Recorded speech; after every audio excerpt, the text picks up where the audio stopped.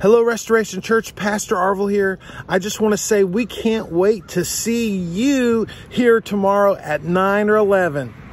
You guys have been so good at helping us with parking remotely at Alpine Parking Lot, but we need some more of you to help us. We need a, a, good amount of you to help us.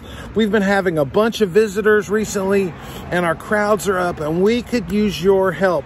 So, the shuttles start running really early. If you're serving, we would love anybody that's serving in a volunteer position tomorrow to park remotely. The shuttles start running really early. They'll run continuously till 1:15 after the second service. So we need your help park remotely at Alpine parking lot, take a shuttle over. They'll get you out of here and back over there really quickly. So we can't wait to see you tomorrow. Join us at 9 and 11 and ride a shuttle. We love you guys. See you tomorrow.